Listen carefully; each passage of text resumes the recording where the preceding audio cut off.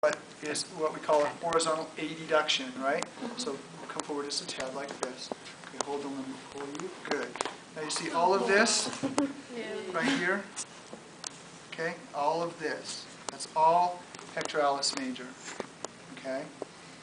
Good. And we've got to distinguish here because now he's up in, he's doing a horizontal adduction. What else is helping that's up here in the front?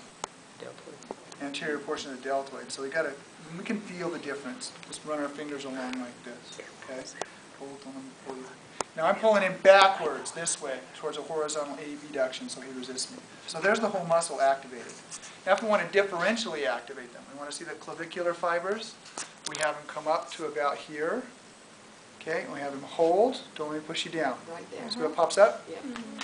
Those are the clavicular fibers. Why? Because they are flexors.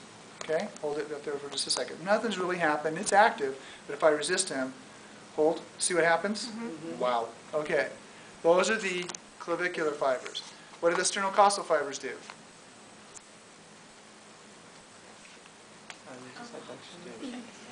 They extend.